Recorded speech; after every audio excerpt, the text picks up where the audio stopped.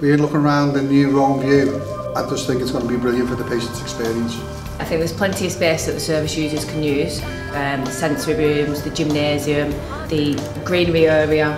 Innovation, creativity and a whole diverse range of interventions for service users. Every service user is treated with dignity and respect and privacy and to do that we need to make sure that their environment allows us to do that. We want to create dignity by making people partners in their own care.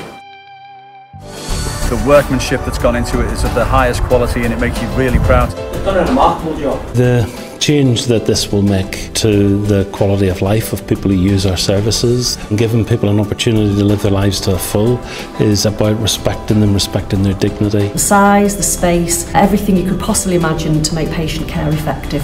We get this therapeutic premium that we keep people only for the length of time that they need to be with us. Therapy is about the whole environment. I think it'll be absolutely fantastic. It's an undertaking which speaks to the commitment of the trust, to the commitment of all the people within it, to provide the very, very best for our service users. And I think that more than anything is a thing to be celebrated.